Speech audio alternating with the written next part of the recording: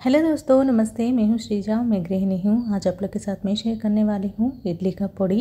ये पोड़ी हमारा south India में खूब बनाया जाता है और खाया जाता है। तो इसको कैसे बनाते हैं, कैसे स्टोर करते हैं और इसको किस डिश का साथ खाया जाता है, वो सब इस वीडियो में बताऊँगी। चलिए शुरू करते हैं। सबसे पहले चूल्हा ऑन करके पैन चढ़ा दिया है और थोड़ा सा तेल डाली हूँ। तेल गर्म होने के बाद एक कप चना दाल, एक कप उड़द दाल और तीन बड़े चम्मच खड़ा धनिया और दो बड़े चम्मच जीरा और थोड़ा सा मेथी दाना और लाल मिर्च पंद्रह से लेके बीस डाली हूँ। तो इसका तो आप अपना स्वाद के हिसाब से डाल सकते हैं।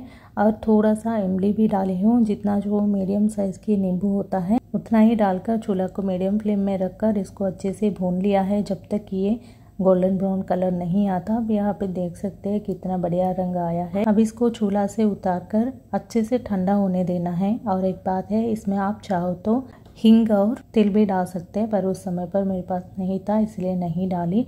ये जैसे ही ठंडा हो जाता है, उसके बाद मिक्सी जार में डालकर और स्वाद के हिसाब से नमक भी डालकर इसको ग्राइंड करना है। इसको एकदम फाइन पाउडर नहीं बनाना है। थोड़ा सा दरदरा ही रखना है, आप यहाँ पे देख सकते हैं। पीसने के बाद कुछ इस तरह से बन गया है। अब इसमें मैं लहसुन भी डाली हूँ। आप चाहो तो बिना लहसुन का भी बना सकते हैं। लहसुन को तो आखिरी में डालना है और इसको भी पीस लेना है। उसके बाद इसको एटेड कंटेनर डब्बा में भरकर बाहर रख सकते हैं या फ्रिज में भी रख सकते हैं। अगर बाहर रखेंगे तो एक महीना से भी ज़्यादा रहता है। अब मैं बनाकर भी दो महीने से ज़्यादा हो चुके हैं। अब तक ख़राब बिल्कुल नहीं हुआ है।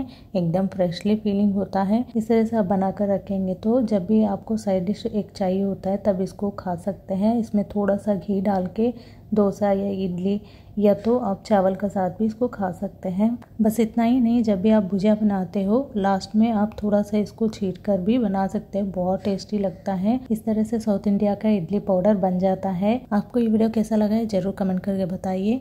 आज की वीडियो इतना ही है। फिर मिलेंगे अगले वीडियो में। तब तक के लिए नमस्ते। अब तक इस वीडियो को देखने के लिए धन्यवाद।